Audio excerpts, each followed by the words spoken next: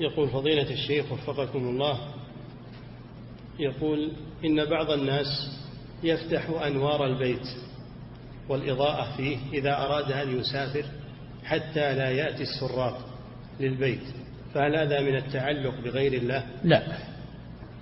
هذا يوهم أن البيت مسكون فيه أهله ما هو من التعلق بغير الله؟ لأن البيت المضاء يدل على وجود السكان فيه. أو يريد هذا. نعم. ولكن السراق أذهن من صاحب البيت. عندهم اكتشافات وأشياء. يصير زين لهم بعد. لا صار منور يدخلون ويشوفون المال اللي يريدون أخذه. هذا يساعدهم على نعم.